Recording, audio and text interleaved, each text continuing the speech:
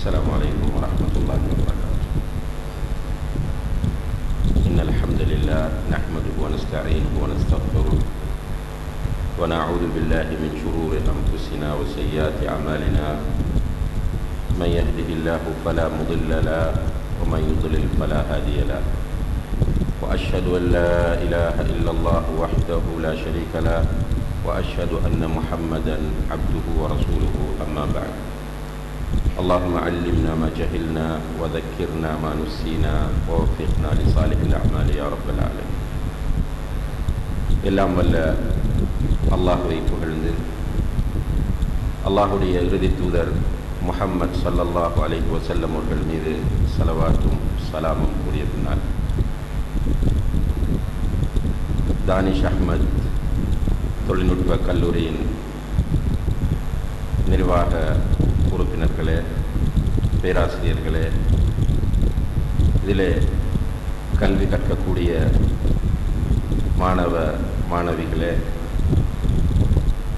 அல்லாஹுடைய பேரருளால் இந்த இடத்திலே உங்கள் அனைவரையும் சந்திக்கக்கூடிய ஒரு வாய்ப்பை பெற்றிருக்கிறோம். அலமதுல்லா அல்லாஹுக்கே எல்லா புகழும்.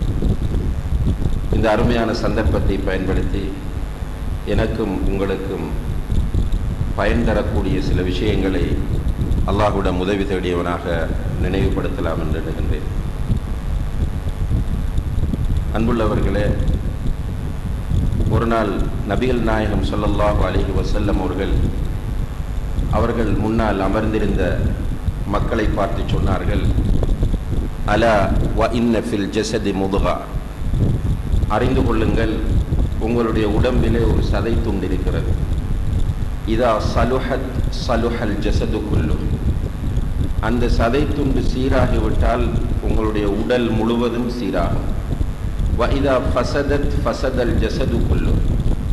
அந்த சதை துண்டு கெட்டுவிட்டால் உங்களுடைய உடல் முழுவதும் கெட்டுவிடும் என்று சொல்லிவிட்டு அலா வகையில் கல் அந்த சதை துண்டு தான் இதயம் என்று சொன்னார்கள் உண்மையிலேயே ஒரு அர்த்தபூர்வமான மிகவும் ஆழமான ஒரு விஷயத்தை அல்லாஹுடைய தூதர் அவர்கள் அந்த சந்தர்ப்பத்திலே தன் முன்னால் உட்கார்ந்திருந்தவர்களுக்கு எடுத்துச் சொன்னார்கள் என்பதை இந்த சம்பவத்தின் மூலம் நாம் புரிய முடிகிறது. மனிதனுடைய இதயத்தை பொறுத்தவரையில் அவனில் அது மிக அற்புதமான வித்தியாசமான அவனை இயக்கக்கூடிய ஒரு உறுப்பாக இருக்கிறது. அந்த இதயம் சீரானால் அவனுடைய பார்வை சீராகும். அவனுடைய செவிப்புலன்கள் சீராகும் அவனுடைய நாக்கு சீராகும் அவனுடைய ஒவ்வொரு உறுப்புகளுமே சீராகும். அந்த சதை துண்டு அந்த இதயம் கெட்டுவிட்டால் அவனுடைய பார்வை கெட்டுவிடும் அவனுடைய பேச்சு கெட்டுவிடும் அவனுடைய கேள்வி கெட்டுவிடும் அவனுடைய ஒவ்வொரு உறுப்புகளுமே கெட்டுவிடும். உண்மையிலேயே இந்த நிலையிலிருந்து மனிதனை விடுவிப்பதுதான் இஸ்லாத்தின் மிக பிரதானமான நோக்கமாக இருக்கிறது. அதாவது அவனுடைய இதயத்தை பரிசுத்தப்படுத்தி அவனை ஒரு நல்ல மனிதனாக நல்ல ஒரு பிரஜையாக மாற்ற வேண்டும் என்பதுதான் இஸ்லாத்தின் முழு நோக்கமாக இருந்து கொண்டிருக்கிறது. அதனால்தான் அல்லாஹு சஹால அல் குரானிலே சூரத்துல் ஜும்மா என்ற அத்தியாயத்தின் இரண்டாவது வசனத்தில் சொல்லும்போது ஹுவல்லதி பஅஸஃபில் உம்மியீன ரசூலம் மின்ஹும். உம்மிக்களுக்கு மத்தியிலிருந்து அவன்தான் ஒரு தூதரை அனுப்பினான். உம்மிக்கள் என்றால் எழுத படிக்க தெரியாத மார்க்கம் தீன் என்றால் என்ன என்று தெரியாத மக்கள். அந்த மக்களுக்கு மத்தியிலிருந்து அவன்தான் ஒரு தூதரை அனுப்பினான். அந்த தூதர் வந்து எத்லு அலேஹிம் ஆயாத்திகி அந்த மக்களுக்கு அல்லாஹுடமிருந்து வரக்கூடிய வேத வெளிப்பாடாகிய அல் குர்ஆன் வசனங்களை ஓதி காண்பிப்பார். வயுசக்கீஹிம். அவர்களை அவர் பரிசுத்தப்படுத்துவார் என்று அல்லாஹு தாலா சொல்கிறார் இப்போ நபீல் நாயம் சல்லா அலி செல்லம் அவர்கள் தூதராக வந்த நோக்கம் அல்லாஹுடமிருந்து வரக்கூடிய வேத வெளிப்பாட்டை வகையை இந்த மக்களுக்கு படித்து காண்பிப்பது அதனோடு சேர்த்து இந்த மக்களுடைய உள்ளங்களில் இருக்கக்கூடிய நோய்களை பரிசுத்தப்படுத்துவது. மாஷா அல்லா நபீல் நாயம் சல்லல்லாஹ் வலை வசல்லம் அவர்கள் வருகிற போது அந்த மக்கள் மிகவும் மோசமானவர்களாக இருந்தார்கள். அந்த கால வரலாற்றை நீங்கள் படித்து பார்த்தால் மிக மிக மோசமானவர்கள். அந்த காலத்தை ஐயாமுல் ஜாகிலியா என்று சொல்கிறார்கள். ஐயாமுல் ஜாஹிலியா என்றால் அறியாமை நிறைந்த காலம் என்பது. அதாவது அந்த மக்கள் எல்லா விதமான மோசமான பழக்கங்களையும் உடையவர்களாக இருந்தார்கள். கொலை வரி பிடித்து அலைந்து திரிந்தார்கள். சின்ன சின்ன பிரச்சனைகளுக்கெல்லாம் சண்டை செய்வார்கள். கோத்திர வரி அவர்களிடம் இருந்தது. ஒவ்வொரு கோத்திரமாக பிரிந்து என்னுடைய கோத்திரம்தான் உயர்ந்த கோத்திரம் என்று கோத்திர வேறுபாடு பேசுகிற ஒரு நிலை இருந்தது. கோத்திரங்களை பழிவாங்குகிற தன்மை இருந்தது. அது மட்டுமல்ல ஒழுக்கச் சீர்கட்டை நீங்கள் எடுத்து பார்த்தால் விபச்சாரம் அந்த சமுதாயத்தில் தலைவிரித்தாடி கொண்டிருந்தது வீடுகளில் விபச்சாரம் நடக்கும் சமுதாய அங்கீகாரத்தோடு. சமுதாயம் விபச்சாரம் நடப்பதை தட்டி கேட்க மாட்டார்கள். அதே நேரத்திலே மதுபானம் அருந்துவதும் அவர்கள் எல்லோரிடத்திலும் சாதாரணமான பழக்கமாக இருந்தது. சூதாட்டம் கொள்ளையடித்தல் போன்ற மிக மோசமான பண்புகள் எல்லாம் அவர்களிடத்திலே நிறைந்து காணப்பட்டன. அதே போன்று கொடுக்கல் வாங்கல்களிலே வட்டி என்பது மிக பிரதானமான இடத்தை வைத்து வட்டியின் மூலம் அடுத்தவர்களை சுரண்டக்கூடிய ஒரு சமுதாயமாக அந்த மக்கள் இருந்து கொண்டிருந்தார்கள்.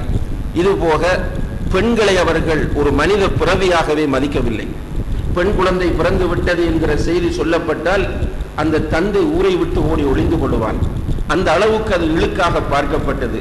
சில இறுக்கமான மனோ மனப்பாங்குள்ள பெற்றோர் அந்த பெண் குழந்தைகள் பிறந்து விட்டால் அவர்களை உயிருடனே புதைக்கக்கூடிய நிலையும் அந்த சமுதாயத்தில் இருந்தது.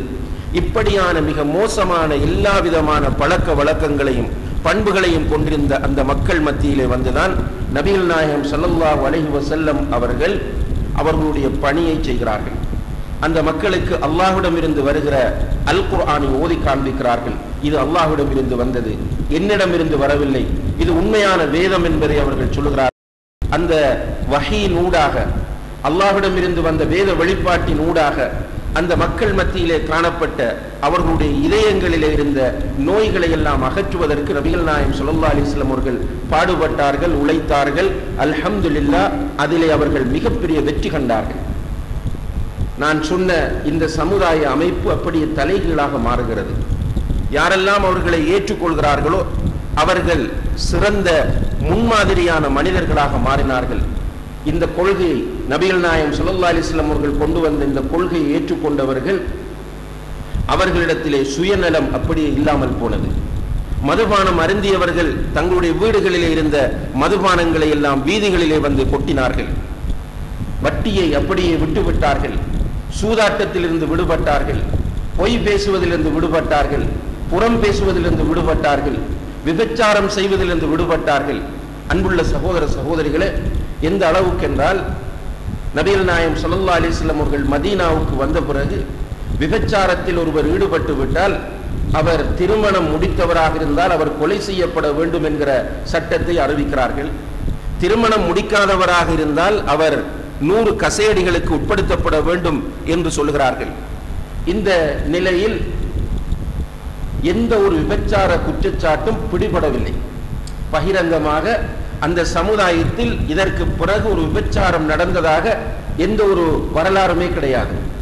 இப்படி இருக்கிற போது ஒரு நாள் மாஹிஜிபுனு மாலிக் ரதியல்லாஹு அன்பு என்கிற ஒரு நபித்தோழர் வருகிறார். நபியல் நாயம் சுல்லா அலிஸ்லம் அவர்கள் மக்களோடு மஸ்ஜிதிலே அமர்ந்திருக்கிறார்கள். வந்தவர் உளறி கொண்டு வருகிறார் சத்தமிட்டு கொண்டு வருகிறார். எப்படி சத்தமிட்டு கொண்டு வருகிறார் என்றால் தஹிர்னி யா ரசூலல்லாஹ். அல்லாஹ்வுடைய தூதரே என்னை நீங்கள் பரிசுத்தப்படுத்த வேண்டும் என்று சொல்லிக் கொண்டு வருகிறார். அவர் வந்த வேகமும் அவர் பேசிய பாணியும் ஒரு பைத்தியகாரரை போன்றிருந்தது.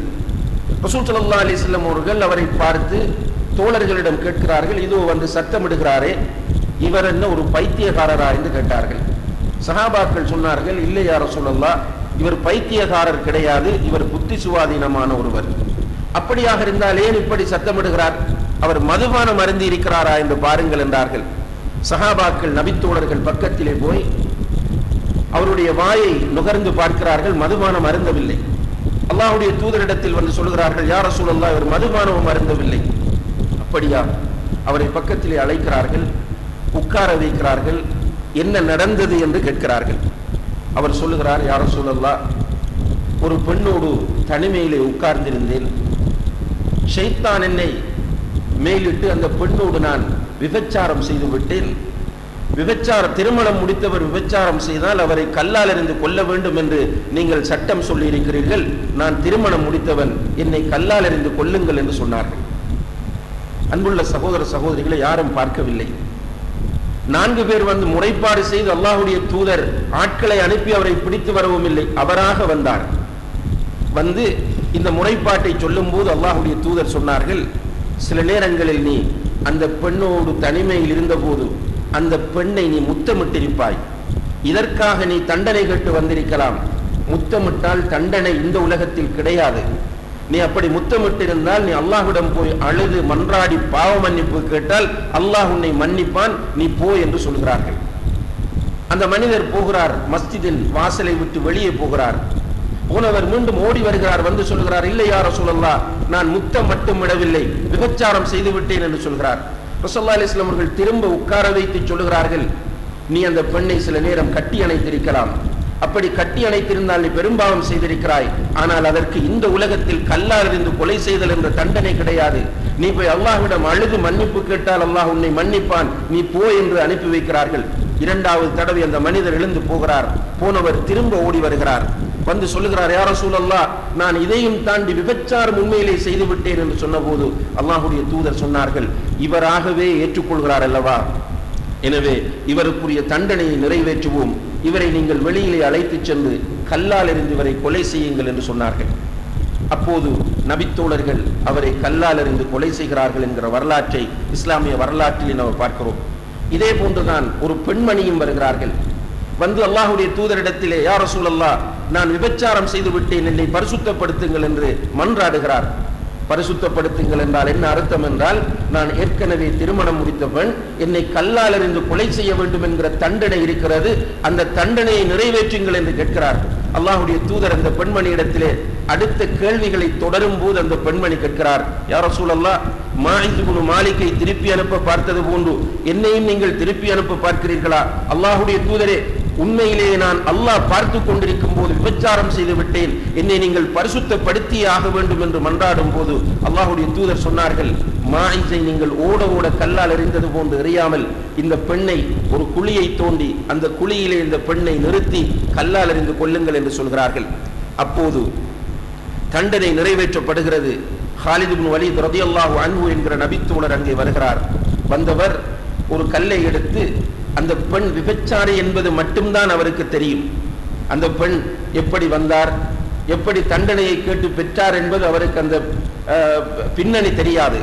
எனவே அவர் ஒரு விபச்சாரி என்று நினைத்து அந்த பெண்ணை திட்டி கல்லை எடுத்து எறிகிறார். அந்த கல் அந்த பெண்ணின் தலையில் பட்டு இரத்தம் ஹாலித் ரதியல்லான் அவர்களுடைய ஆடையிலே தெரிக்கிறது. இதை பார்த்து கொண்டிருந்த அல்லாஹுடைய தூதர் வந்து ஹாலிதுடைய கையை பிடித்து சொன்னார்கள் மஹலன்யா ஹாலித். ஹாலிதை நிதானமாக நடந்து கொள்ளுங்கள். இந்த பெண்மணி செய்திருக்கிற தௌபாவை இந்த சமுதாயத்தில் உள்ள எழுபது பேருக்கு பங்கு வைத்து கொடுத்தாலும் மீதமாகிவிடும் என்று சொன்னார்கள். அன்புள்ள சகோதர சகோதரிகளே இங்கே நாம் கவனிக்க வேண்டிய விஷயம் என்னவென்றால் நபிகள் நாயம் சல்லா அலிஸ்லம் அவர்கள் தூதராக வருவதற்கு முன்னால் விருப்ப விருப்பத்தோடு விபச்சாரம் செய்தார்கள். விபச்சாரத்திற்கு அடிமைப்பட்டிருந்தார்கள். வீடுகளிலே பல ஆண்களை அழைத்து விபச்சாரம் செய்து கொண்டிருந்தார்கள். ஊரே பார்த்து கொண்டிருக்க விபச்சாரம் செய்தார்கள். அதை அவர்கள் அலட்டிக் கொள்ளவில்லை. ஆனால் அல்லாஹுடைய தூதர் வந்து அல்லாஹுடமிருந்து வகையை பெற்று அதாவது வேத வெளிப்பாட்டை பெற்று குரானையும் ஹதீஸையும் அந்த மக்களுக்கு போதித்த பிறகு அந்த மக்களிடத்தில் ஏற்பட்ட மாற்றத்தை தான் இங்கே நாம் பார்க்கிறோம். அதாவது இஸ்லாம் என்ன விரும்புகிறது என்று சொன்னால் உள்ளங்கள் பரிசுத்தப்படுத்தப்பட வேண்டும். வெறுமனே வெளிப்படையில் முஸ்லிம் என்று சொல்வது தாடி வைத்திருப்பது தொப்பி அணிந்திருப்பது ஜுப்பா அணிந்திருப்பது அல்லது முழுக்க தன்னை மறைத்துக் கொள்வது செய்ய வேண்டிய அநியாயங்களையும் பாவங்களையும் செய்வது என்கிற நிலையில் ஒரு முஸ்லிமை உருவாக்க இஸ்லாம் விரும்பவில்லை. சில நேரங்களில் தாடி இல்லாமல் இருக்கலாம் சில நேரங்களில் ஹிஜாப் இல்லாமல் இருக்கலாம் ஆனால் உள்ளம் பரிசுத்தமாக இருந்தால் அந்த முஸ்லிமை தான் இஸ்லாம் எதிர்பார்க்கிறது. வெளிப்படையிலே தன்னை ஒரு முஸ்லிமாக காட்டிக்கொண்டு உள்ளே செய்ய வேண்டிய அநியாயங்களையும் பாவங்களையும் செய்து கொண்டிருக்கிற மக்கள் மறுமையிலே வெற்றி பெற முடியாது. அப்படிப்பட்டவர்களை உருவாக்க இஸ்லாம் விரும்பவும் இல்லை என்பதை நாம் எல்லோரும் புரிந்து கொள்ள வேண்டும். உள்ளம் பரிசுத்தமானால் ஆட்டோமேட்டிக்காக தாடி வரும். உள்ளம் பரிசுத்தமானால் ஆடை மாறும். உள்ளம் பரிசுத்தமானால் நடத்தைகள் மாற்றம் அடையும் எனவேதான் உள்ளத்திற்கு அவ்வளவு முக்கியத்துவத்தை இஸ்லாம் கொடுத்திருக்கிறது. இன்றைக்கு உள்ளம் என்கிற பகுதி அப்படியே கைவிடப்பட்டு வெளிப்படையான அம்சங்களுக்கு தான் முக்கியத்துவம் கொடுக்கப்படுகிறது. தண்டனைகள் பற்றி பேசுகிறோம் ஒழுக்கம் பற்றி பேசுகிறோம் எல்லாமே நடக்கிறது எச்சரிக்கிறோம் கண்டிக்கிறோம். எல்லாம் நடக்கிறது ஆனால் உள்ளத்தை பரிசுத்தப்படுத்துவதற்கான பயிற்சிகளும் பக்குவமான வழிகாட்டல்களும் இன்று நம்முடைய சமுதாயத்திற்கு வழங்கப்படாமல் இருப்பது மிகப்பெரிய ஒரு ஆபத்தாக இருந்து கொண்டிருக்கிறது. இதனால் தான் இன்று உலகத்திலே எல்லா விதமான பிரச்சனைகளையும் நாம் பார்த்து கொண்டிருக்கிறோம். குறிப்பாக ஒழுக்க ரீதியான பிரச்சனை இன்று உலகத்திலே தலை தூக்கி இருப்பதற்கான அடிப்படை காரணம் உள்ளங்கள் பற்றி கவனம் செலுத்தப்படாமல் இருப்பதுதான். இஸ்லாம் முதலில் உள்ளத்தை தான் கவனம் செலுத்துகிறது. அதனால் தான் ஈமான் என்று சொன்னால் மா வக்கரஃபில் கல்ப். ஈமான் என்பது விசுவாசம் என்பது முதலில் உள்ளத்தை பாதிக்க வேண்டும். உள்ளத்தில் இருந்துதான் விசுவாசம் என்பது எழ வேண்டுமே தவிர நாவில் இருந்தல்ல உள்ளத்திற்கு சரியான பயிற்சி தான் ஈமான் என்பது என்பதை நாம் புரிந்து கொள்ள வேண்டும். உண்மையிலே அன்புள்ள சகோதர சகோதரிகளே மனிதனுடைய உள்ளத்தை பொறுத்தவரையில் அவனுடைய உள்ளத்தில் இரண்டு விதமான பெரிய நோய்கள் ஏற்படுகின்றன. இந்த இரண்டு விதமான நோய்களால் தான் எல்லா விதமான பிரச்சனைகளும் தோன்றுகின்றன. முதலாவது நோய் சந்தேகம் என்கிற நோய். மனித இதயத்தில் ஏற்படுகிற முதலாவது நோய் சந்தேகம் என்கிற நோய். இரண்டாவது நோய் இச்சை ஆசை என்கிற நோய். இந்த இரண்டு நோய்களும் தான் மனித இதயத்தில் ஏற்படக்கூடிய மிக பயங்கரமான நோய்களாகும். சந்தேகம் என்கிற நோய் என்று நான் சொல்லும் போது நீங்கள் நினைத்திருக்கலாம். ஒரு ஆசிரியர் மாணவர்களின் சந்தேகப்படுவது ஒரு கணவன் மனைவியில் சந்தேகப்படுவது அல்லது பெற்றோர் பிள்ளைகளில் சந்தேகப்படுவது நண்பர்கள் தங்களுக்கிடையில் சந்தேகப்படுவது இந்த சந்தேகத்தை குறிப்பதாக நீங்கள் நினைக்கலாம். இதுவும் ஒரு நோய்தான்.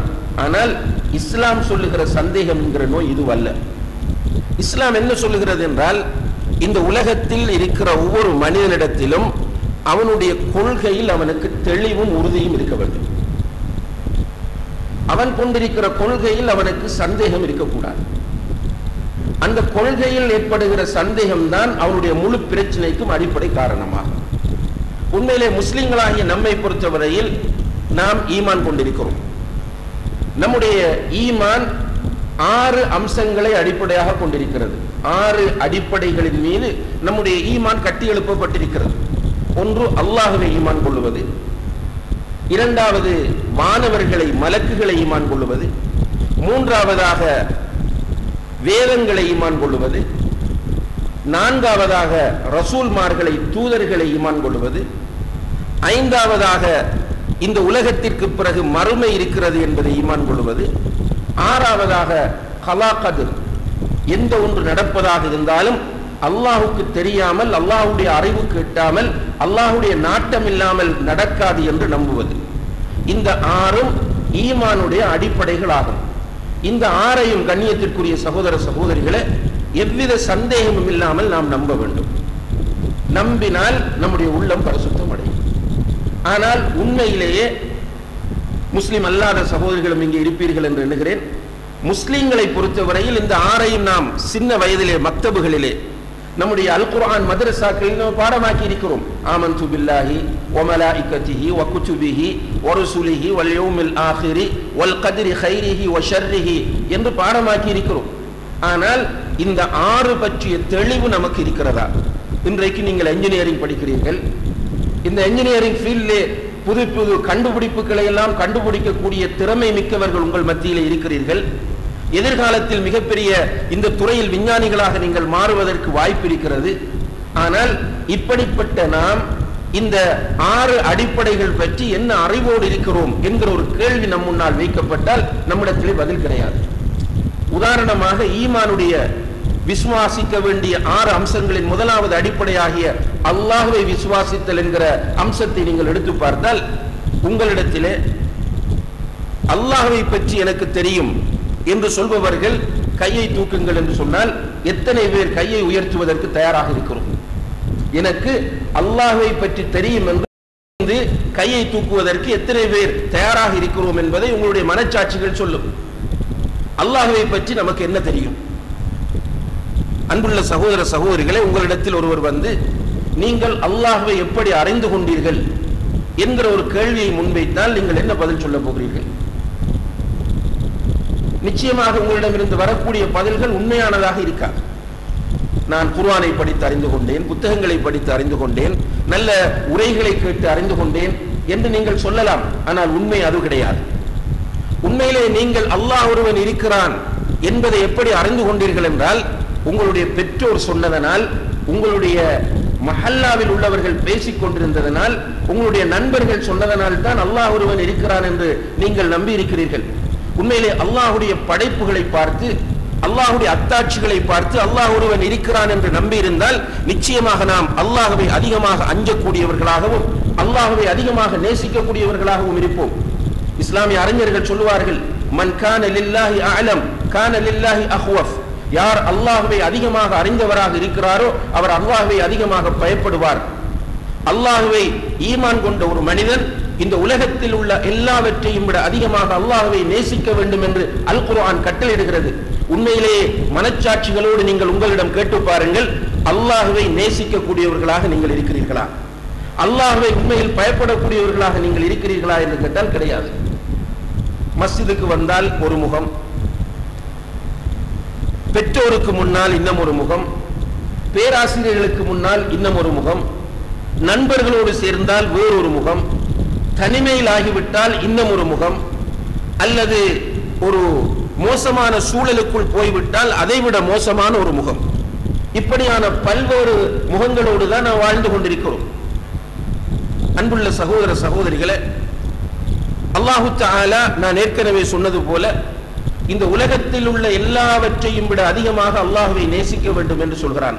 பெற்றோர் பிள்ளைகள் நண்பர்கள் உறவினர்கள் தொழில் கல்வி வியாபாரம் வீடு அனைத்தையும் விட அல்லாஹ்வை அதிகமாக நேசிக்க வேண்டும். அப்படியான நிலை நம்மில் எத்தனை பேரிடம் இருக்கிறது? நிச்சயமாக இல்லை.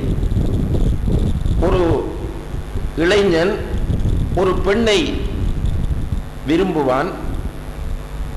அது ஹராமான விரும்புதலாக இருக்கும்.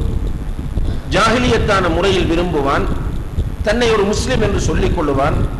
அந்த பெண் சொல்லுவாள் உனக்கு தாடி வைத்தால் அழகாக இருக்கிறது என்று உடனே தாடி வைப்பான். நீ தாடியோடு அசிங்கமாக இருக்கிறாய் என்று அவள் சொன்னால் தாடியை எடுத்து விடுகிறான்.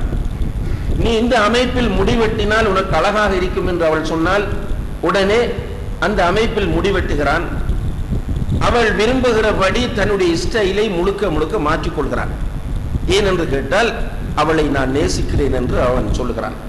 அதே போன்று அவளும் அவனுக்கு ஏற்ப தன்னை மாற்றிக்கொள்வதை பார்க்கிறோம். ஆனால் இவர்களை படைத்து இவர்களை குறைபாடுகள் இல்லாமல் ஆக்கி உலகத்தில் நிறைய பேரை படைக்கும் போது அல்லாஹு தஆலா கண்டறியாமல் காது கேட்காமல் மூளை வளர்ச்சி இல்லாமல் உடல்களில் ஊனமுற்றவர்களாக இப்படி பல கோணங்களில் படைத்திருக்கும் போது இவனை அங்க சம்பூரணமாக பூரணமான ஒரு வடை வடிவில் படைத்து இவனுக்கு ரிஸ்கை கொடுத்து வாழ்வதற்கு தேவையான எல்லா அருட்கொடைகளையும் இந்த உலகத்தில் அவனுக்கு கொடுத்து அவனுக்கு நல்ல கல்வியை கொடுத்து அவனை கண்ணியப்படுத்தி இருக்கிறான். இப்படிப்பட்ட அல்லாஹ் நீ தொழ வேண்டும் என்று கட்டளையிடுவான் தொழமாட்டான் நீ ரமலான் மாதம் நோன்பு நோக்க வேண்டும் என்று கட்டளையிடுவான் நோன்பு நோக்க மாட்டான். நீ இன்னென்ன காரியங்களை செய்ய வேண்டும் என்று கட்டளையிடுவான் அவற்றை உதாசீனம் செய்வான்.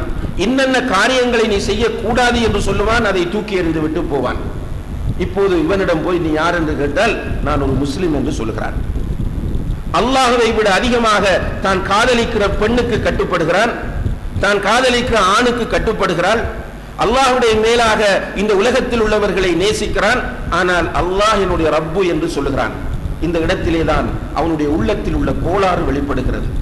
உண்மையிலே அல்லாஹுவை அந்த மனிதன் சரியாக புரிந்து கொண்டிருந்தால் அல்லாஹை பற்றிய நம்பிக்கையில் அவனிடத்தில் உறுதி இருக்குமாக இருந்தால் நிச்சயமாக அவன் முதல் முதலில் நேசிப்பது அல்லாவாகத்தான் இருக்கும். இதைத்தான் நபிகள் நாயம் சல்லா அலைஹி வாழ்க்கையிலும் அவர்களை நம்பி வந்த மக்களுடைய வாழ்க்கையிலும் நாம் பார்க்கிறோம். அவர்களிடத்திலே மிகப்பெரிய மாற்றம் ஏற்பட்டது. நம்மை போன்று முஸ்லிம் குடும்பத்தில் இருந்து பிறந்து வளர்ந்து வந்தவர்கள் அல்ல அவர்கள். நான் ஆரம்பத்தில் குறிப்பிட்டது போன்று ஜாகிலிய சாக்கடையில் கூறியிருந்தவர்கள் அவர்கள். ஜாகலிய சாக்கடைக்குள்ளே இருந்து வெளியே வந்தவர்கள். கஷ்டம். ஒரு விஷயத்திற்கு ஒருவன் அடிக்ட் ஆகிவிட்டால் அதிலிருந்து விடுபடுவது என்பது சாதாரணமான ஒரு விஷயம் அல்ல நீங்கள் படித்தவர்கள் உங்களுக்கு உளவியலில் சில விஷயங்கள் தெரியும். ஒருவன் சிகரெட் பிடிக்க ஆரம்பித்து விட்டான் என்றால் இலகுவில் விடுபட முடியாது. ஒரு மனிதன் ஏதாவது ட்ரக்ஸுக்கு அடிமையாகி விட்டான் என்றால் இலகுவிலே விடுபட முடியாது. ஆனால் சஹாபாக்கள் நபித்தோழர்கள் அந்த சாக்கடையிலே ஊரை இருந்து வெளியே வருகிறார்கள். அவர்கள் அல்லாஹுவை நேசித்ததனால் அல்லாஹுக்காக வேண்டி விட்டார்கள். அவர்களுக்கு அல்லாஹ் ஒருவன் இருக்கிறான். அவன் என்னை பார்த்து கொண்டிருக்கிறான். அவன்தான் எனக்கு ரிஸ்கை தருகிறான். அவன்தான் என்னை கண்காணித்துக் கொண்டிருக்கிறான். என்னை வாழ வைத்ததும் அவன்தான். என்னுடைய உயிரை அவன்தான் கைப்பற்றுவான். நாளை மறுமையிலே அவனுக்கு முன்னால் நான் போய் நிற்க வேண்டும் என்பதிலே அவர்கள் தெளிவாக இருந்தார்கள். எனவே உறுதியாக இருந்தார்கள். இன்றைக்கு அதில் நமக்கு சந்தேகம். இந்த உலகத்தில் உள்ள இன்பங்களில் நம்பிக்கை கொள்கிறோம். இந்த உலகத்தில் உள்ள இன்பங்களுக்காக தியாகம் செய்கிறோம். சுவர்க்கத்தில் நமக்கு சந்தேகம் இருக்கிறது. மறுமையை நம்புகிறோம் என்று சொன்னால் மறுமையிலே உள்ள மிக முக்கியமான இரண்டு அம்சங்கள் சுவர்க்கம் நரகம். இந்த உலகத்தில் அல்லாஹுவை ஈமான் கொண்டு அல்லாஹ் சொல்லக்கூடிய முறையில் தன்னுடைய வாழ்க்கையை அமைத்துக் கொண்டவர்களுக்கு சுவர்க்கம் இருக்கிறது.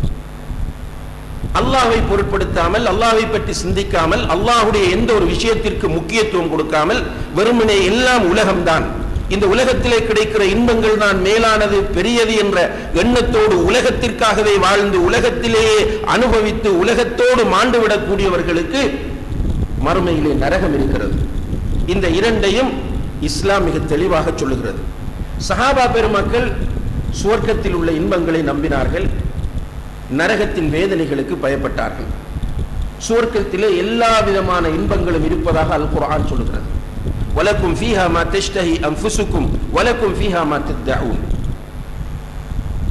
நீங்கள் எதையெல்லாம் ஆசைப்படுகிறீர்களோ அதுவெல்லாம் சுவர்க்கத்தில் கிடைக்கும். நீங்கள் எதையெல்லாம் கேட்கிறீர்களோ அவை அனைத்தும் சுவர்க்கத்தில் உங்களுக்கு கிடைக்கும். சிம்பிளாக அல்லாஹு தாலா குரானிலே சொல்கிறார் உங்களுடைய மனம் எதை விரும்பினாலும் அது கிடைக்கும். நீங்கள் எதை கேட்டாலும் அது கிடைக்கும். சுவர்க்கத்திலே ரசூல் சல்லா அலிஸ்லாம் அவர்கள் சொல்லுகிறார்கள் நுழைகிற எல்லோரும் இளமையோடு இருப்பார்கள் அங்கே முதுமை கிடையாது மரணம் கிடையாது. அந்த சுவர்க்கத்தின் முழு தன்மையுமே அனுபவிப்பதுதான். அனுபவிப்பதற்கு தேவையான எல்லாமே அங்கே இருக்கும். கடற்கரைகள் இருக்கும் ஆறுகள் இருக்கும் பூங்காக்கள் இருக்கும் சந்தைகள் இருக்கும் அழகான கட்டிடங்கள் இருக்கும். அதே போன்று அல்லாஹு தால அங்கே நுழையக்கூடியவர்கள் அனைவரையும் மிக அழகிய தோற்றத்திலே ஆக்குவார். பெண்களை பொறுத்தவரையில் ஹூருன் ஐன் என்கிற அழகிகளாக அவர்கள் இருப்பார்கள். ஆண்கள் முழு நிலவு போன்று அழகாக இருப்பார்கள். இப்படியான இடம்தான் அந்த சுவர்க்கம் என்பதை நபிகள் நாயகம் சொல்லல்லா அலைஹி அவர்கள் அவர்கள் முன்னால் உட்கார்ந்திருந்த அந்த மனிதர்களுக்கு சொன்னபோது அவர்கள் சந்தேகம் இல்லாமல் அதை ஈமான் கொண்டார்கள் நம்பினார்கள். எனவே அந்த சுவர்க்கத்தை அடைந்து கொள்வதற்காக வேண்டி தங்களுடைய உயிரையும் கொடுப்பதற்கு அவர்கள் தயாரானார்கள். உயிரை கொடுத்தார்கள். அவர்களுடைய உடைமைகளை தியாகம் செய்தார்கள். அவர்களுடைய பிள்ளைகளை தியாகம் செய்தார்கள். ஏன்? அவர்களுடைய சொந்த ஊராகிய மக்காவை அவர்கள் விட்டுவிட்டு மதீனாவுக்கு வந்தார்கள் என்பதை நாம் பார்க்கிறோம். அதே போன்று அல்லாஹுடைய தூதர் சொன்னார்கள் நரகம் என்பது உண்மையானது. இந்த உலகத்தில் மோசமாக நடக்கிறவர்களுக்கு நரகம் என்கிற ஒரு பயங்கரமான தண்டனை இருக்கிறது. அந்த தண்டனை சாதாரணமானது அல்ல அது கொழுந்து விட்டெறியக்கூடிய நெருப்பை கொண்டது. அந்த நெருப்பிலே ஒருவன் தூக்கி போடப்பட்டு விட்டால் அவனால் அதை தாங்கிக் கொள்ள முடியாது. அதிலிருந்து தன்னை வெளியேற்றுமாறு கத்துவான். ஆனால் அவன் வெளியேற்றப்பட மாட்டான். அந்த நரகத்தில் ஒரு மனிதனுக்கு வழங்கப்படக்கூடிய ஆக குறைந்தபட்ச தண்டனை. அதுவும் நபியல் நாயம் ஸல்லல்லாஹு அலைஹி சிபாரிசினால் அவர்களுடைய சிறிய தந்தை Abdul Muttalib Abu Abu Talib அவர்களுக்கு கொடுக்கப்படக்கூடிய தண்டனை. அவர்களுடைய சிறிய தந்தை அபூ தாலிப் அவர்களுக்கு கொடுக்கப்படக்கூடிய தண்டனை என்னவென்று கேட்டால் நெருப்பாலான செருப்பு அவருக்கு அணிவிக்கப்படும். அந்த செருப்பை அணிந்தால் அவருடைய மூளை கொதிக்கும். அதுதான் நரகத்தில் உள்ள குறைந்த தண்டனை. கூடிய தண்டனை குரான் சொல்லுகிறது. தண்ணீர் தாகம் என்று அவர்கள் கத்தும் போது தண்ணீர் கொடுக்கப்படும். மிக கடுமையாக சூடாக்கப்பட்ட தண்ணீராக அது இருக்கும். அந்த தண்ணீரை அவன் தன்னுடைய முகத்திற்கு கிட்டே கொண்டு செல்லும் போது அவனுடைய முகம் அப்படியே பொசுங்கி அவனுடைய சதைகள் எல்லாம் கலண்டு விடும். அதையும் தாண்டி அவன் குடிக்க நேர்ந்தால் அந்த தண்ணீர் வயிற்றுக்குள் போய் உன்னுடைய குடல்களை எல்லாம் துண்டு துண்டாக ஆக்கிவிடும் என்று அல்லாஹ் குரானில் சொல்கிறான். அவனுக்கு ஆடை அணிவிக்கப்படும் நெருப்பாலான ஆடை. இப்படியான ஒரு பயங்கரமான இடம்தான் நரகம் என்பதை அல்லாஹுடைய தூதர் சொன்னார்கள். அந்த மக்கள் அதை நம்பினார்கள். எனவே அந்த நரகத்திற்கு அவர்கள் மிக கடுமையாக பயப்பட்டார்கள். ரசூல் ஸல்லல்லாஹு அலைஹி அவர்கள் சொன்னார்கள் இத்தகுன்னார் இத்த குன்னார் நரகத்திற்கு அஞ்சுங்கள் நரகத்தை பயப்படுங்கள். ஒரு பேரிச்சம்பள துண்டையாவது நீங்கள் தர்மம் செய்து நரகத்திற்கு பயப்படுங்கள். அதற்கும் வாய்ப்பு கிடைக்காவிட்டால் ஒரு நல்ல வார்த்தையை பேசியாவது நரகத்திற்கு பயப்படுங்கள் என்று சொன்னார்கள். அந்த மக்கள் நரகத்திற்கு பயந்தார்கள். காரணம் என்னவென்றால் நரகத்தை அவர்கள் நம்பினார்கள். அன்புள்ள சகோதர சகோதரிகளை இந்த நம்ப வேண்டிய விஷயங்கள் இந்த ஆறிலும் உதாரணத்திற்கு இந்த இரண்டையும் நான் சொன்னேன். அல்லாகவையும் சுவர்க்கம் நரகத்தையும் சொன்னேன். இதே போன்றுதான் ஒவ்வொரு விஷயத்திலும் நம்மிடத்தில் இருக்கிற பலவீனம் சந்தேகம் இருக்கிறது. நம்மோடு மலக்குகள் இருக்கிறார்கள் என்பதில் நமக்கு சந்தேகம் இருக்கிறது.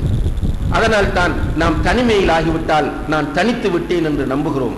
வேதத்தில் நமக்கு சந்தேகம் இருக்கிறது. அதனால் தான் அந்த வேதத்தை ஓதாமல் இருக்கிறோம்.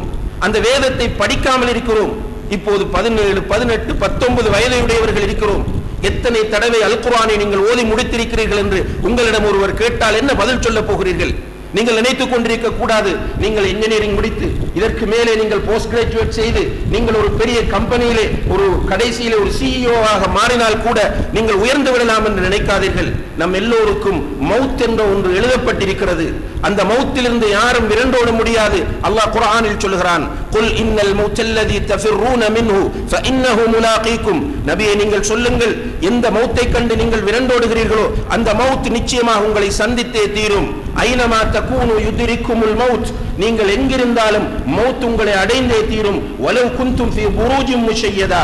பலமாக கட்டப்பட்ட கோட்டைகளுக்குள் நீங்கள் மௌத்துக்கு பயர்ந்து ஓடி ஒளிந்து கொண்டாலும் மலக்குள் முத்தலை இஸ்லாம் அவர்கள் அங்கே வந்து உங்களுடைய உயிரை கைப்பற்றுவார்கள் என்று அல்லாஹு தாலா குரானிலே சொல்லி காட்டுகிறான். மௌத்தில் இருந்து இந்த உலகத்தில் தப்புவதாக இருந்தால் நபிமார்கள் தப்பி இருக்க வேண்டும். இந்த உலகத்தில் இருந்து யாருமே மௌத்தில் இருந்து தப்ப முடியாது.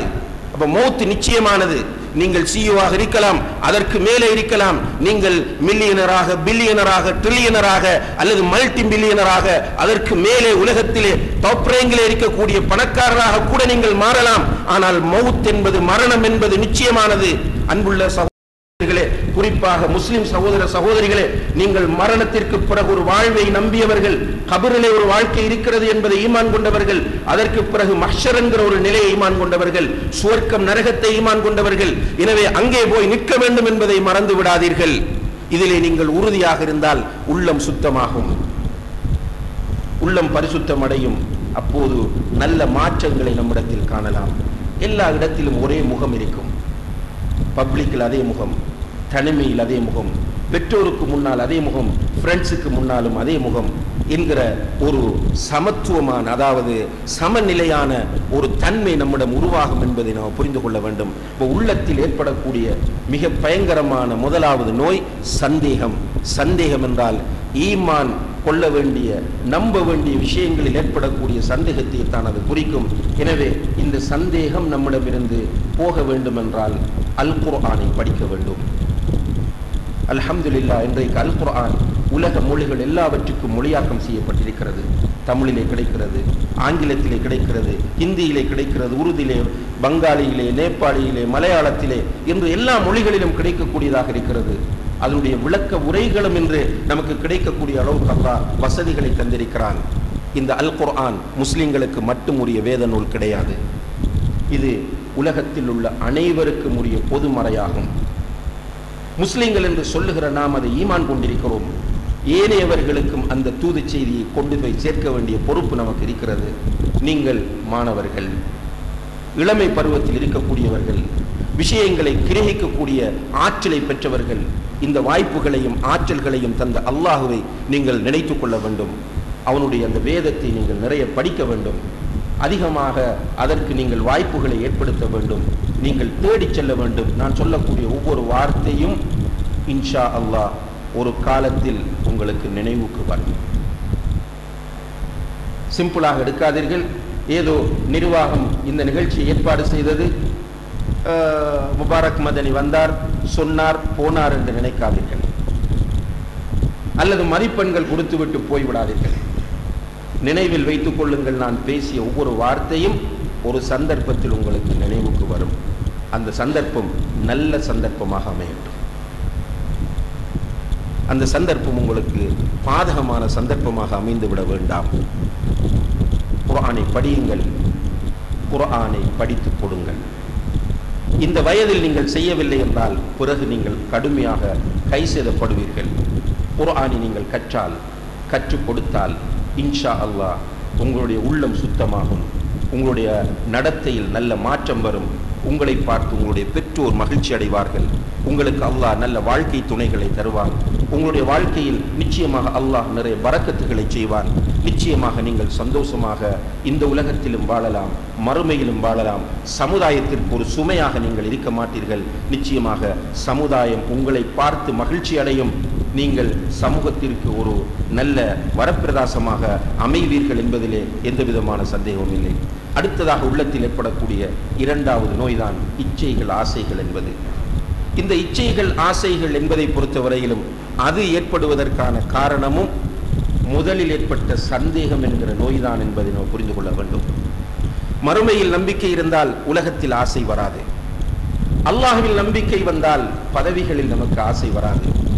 அல்லாஹுவை ரப்பாக ஏற்றுக்கொள்ளக்கூடிய ஒருவன் அல்லாஹுவை ரப்பாக என்றால் எஜமானனாக இரட்சகனாக ஏற்றுக்கொள்ளக்கூடிய ஒருவன் தன்னை அல்லாஹுடைய அப்தாக அடிமையாகத்தான் பார்ப்பான். அவன் எவ்வளவு பெரிய உயர்ந்த மனிதனாக மாறினாலும் அவனிடத்தில் நிச்சயமாக பணிவு வரும். நபிகள் நாயகம் ஸல்லல்லாஹு அலை வசல்லம் அவர்களை பொறுத்தவரையில் அன்புள்ள சகோதர சகோதரிகளே அரேபியாவிலே மிக உயர்ந்த ஒரு கோத்திரத்தைச் சேர்ந்தவர்கள். அதே நேரத்தில் அல்லாஹுடைய உதவியை கொண்டு அவர்கள் மிகவும் உயர்ந்த தன்மைகளோடு இருந்தவர்கள் அழகானவர். அவர்களை சொல்லுவார்கள் அனபுனு முத்- அனபுனு அப்துல் முத்தலிப். நான் அப்துல் முத்தலிபுடைய பேரன் என்று சொல்லுவார்கள். அப்படிப்பட்ட நபீல் நாயம் ஸல்லல்லாஹு அலைஹி வசல்லம் அவர்கள் இந்த இஸ்லாமிய தூதை அல்லாஹ் அவர்களிடம் ஒப்படைத்த போது அவர்கள் மிகவும் பணிவுள்ள ஒரு மனிதனாக மாறினார்கள். ஏழைகளோடு உட்கார்ந்தார்கள். அடிமைகளோடு சமமாக உட்கார்ந்தார்கள். அனாதை குழந்தைகளை தன்னுடைய மடியில் உட்கார வைப்பார்கள். அவர்களுடைய தலைகளை தடவி விடுவார்கள். வயோதிபர்களை கண்ணியப்படுத்தினார்கள் மதித்தார்கள். வயோதிப பெண்கள் நீங்கள் படித்திருப்பீர்கள் பாதைகளில் அவர்களுடைய பொருட்களை சுமக்க முடியாமல் கஷ்டப்படும் போது அவர்களுக்கு கை கொடுப்பார்கள். இப்படிப்பட்ட ஒரு நிலைக்கு அவர்களை கொண்டு வந்தது. அவர்களுடைய உள்ளத்தில் ஏற்பட்ட ஈமானிய மாற்றமாகும். அதே போன்றுதான் அவர்களுடைய தோழர்களை நீங்கள் எடுத்து பார்த்தால் அந்த தோழர்கள் அப்படியே மாறிவிட்டார்கள். எல்லோருக்கும் தெரியும் உமர் இப்னுல் இரண்டாவது ஹலீஃபா. அவர் இஸ்லாத்திற்கு வருவதற்கு முன்னால் திமிர் பிடித்த ஒருவர் கடுமையாக பெருமை அடிக்கக்கூடிய ஒருவர் ஆணவம் கொண்ட ஒரு துணிச்சல்காரர் இஸ்லாத்திற்கு வந்து அப்படியே அவருடைய நிலைமை மாறுகிறது. ஒரு நாள் அவரிடத்தில் சில குடிமக்கள் போய் பிரச்சனைகளை முறையிடும் போது அவருடைய இயல்பின் அடிப்படையில் சத்தம் போட்டு விட்டார். அவருடைய இயல்பின் அடிப்படையில் சத்தம் போட்டு விட்டார். வந்தவர்கள் போய்விட்டார்கள். பிறகு இவர் தனியே ஒரு தோட்டத்திற்கு போகிறார். அந்த தோட்டத்திலே உட்கார்ந்து தன்னை சுய பரிசோதனை செய்து அழுகிறார்.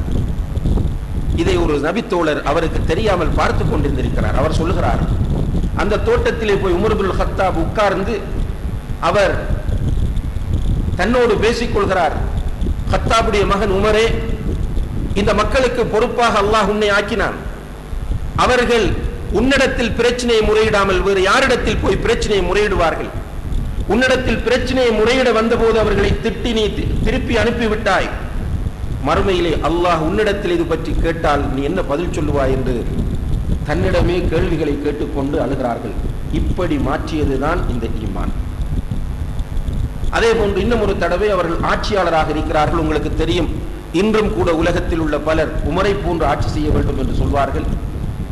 ஒரு நாள் அவர்கள் பப்ளிக் கிணற்றிலே பொதுமக்கள் தண்ணீர் எடுக்கக்கூடிய கிணற்றிற்கு தண்ணீர் பையோடு வந்து தண்ணீரை நிறைத்து தோளில் தூக்குகிறார். அப்போது அதை ஒரு தோழர் பார்த்துவிட்டு ஓடி வந்து அமீருல் முக்மினீனே ஜனாதிபதி அவர்களே எதற்காக வேண்டி இப்படி செய்கிறீர்கள்? உங்களுக்குத்தானே சொன்னால் வேலை செய்வதற்கு மக்கள் இருக்கிறார்கள். நீங்களே இந்த பொது கிணற்றிற்கு வர வேண்டும் என்று சொன்னபோது அவர்கள் சொல்லுகிறார்கள் இன்று என்னை சந்திப்பதற்காக வேண்டி ஒரு கூட்டத்தாருக்கு நான் அப்பாயின்மெண்ட் கொடுத்திருந்தேன். நீங்கள் கண்டிப்பாக சந்திக்க வேண்டும் என்று. ஆனால் அவர்களை நான் அழைக்கும் போது அவர்கள் வர மாட்டார்கள் என்று என் மனம் சொன்னது. கொஞ்சம் திமிர் பிடித்த கூட்டம் கொஞ்சம் பக்குவப்படாத பண்படாத கூட்டம் அவர்கள் வர மாட்டார்கள் என்று இந்த மதம் சொன்னது. ஆனால் அவர்கள் வந்து விட்டார்கள். அவர்கள் வந்ததை பார்த்ததும் என்னுடைய மனதில் ஒரு மாற்றம் ஏற்பட்டது. அதாவது ஒரு பெருமை போன்ற ஒரு உணர்வை நான் உள்ளூர உணர்ந்தேன். அதை உடைப்பதற்காகத்தான் இந்த பொது கிணற்றிற்கு வந்து தண்ணீர் அள்ளிக்கொண்டு செல்கிறேன் என்று உமரலி அல்லானவர்கள் அவரிடத்திலே சொல்கிறார்கள். இப்போ உள்ளத்தில் இருக்கக்கூடிய இந்த இச்சை ஆசை என்கிற நோய் இருக்கிறது. இந்த நோய் நிச்சயமாக ஈமானால் அகற்றப்பட்டு விடும் என்பதை நாம் புரிந்து கொள்ள வேண்டும். எனவே அன்புள்ள சகோதர சகோதரிகளே உங்களோடு நீண்ட நேரம் பேசிக் கொண்டிருப்பதில் மகிழ்ச்சி இருந்தாலும் கூட பெரும்பாலான சகோதர சகோதரிகள் சொல்லப்படக்கூடிய செய்திகளை ஆர்வத்தோடும் விருப்பத்தோடும் கேட்டுக்கொண்டிருக்கக்கூடிய சந்தர்ப்பமாக இருந்தாலும் இன்று வெள்ளிக்கிழமை தினம் என்பதால் கொத்துபாவுக்கும் செல்ல வேண்டிய ஒரு தேவை இருக்கிற காரணத்தினால் என்னுடைய உரையை நீட்டிக்கொண்டிருக்காமல் அல்லாஹு சாலா உங்களுடைய கல்வியை சிறப்பானதாக ஆக்க வேண்டும். இந்த கல்வியோடு நீங்கள் உங்களுடைய படிப்பை நிறுத்தி விடாமல் தொடர்ந்து நீங்கள் படிப்பதற்குரிய பொருளாதார வசதிகளையும் வாய்ப்புகளையும் அல்லாஹ் உங்களுக்கு தர வேண்டும். உங்களுடைய எதிர்காலத்தை அல்லாஹு தஆலா ஒளிமயமான எதிர்காலமாக ஆக்க வேண்டும்.